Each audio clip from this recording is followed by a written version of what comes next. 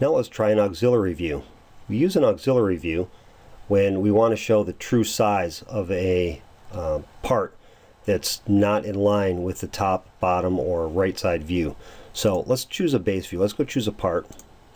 See if we can find a part where this would be uh, beneficial to have. Um, let's do that part. We'll say open.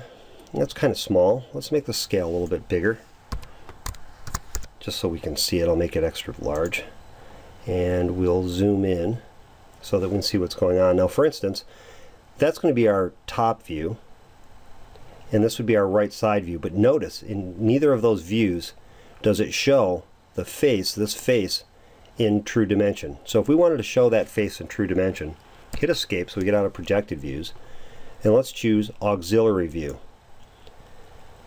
and then read what it tells us to do down here in the corner. Select a view. We're going to take this view and it asks us to select a linear model edge to define the view orientation. We click on the line that we want and drag it up and that would be our auxiliary view.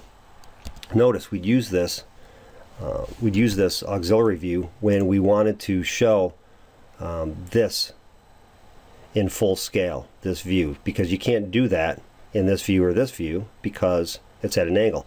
Now with the auxiliary view, it's straight on and we can take measurements right off of it.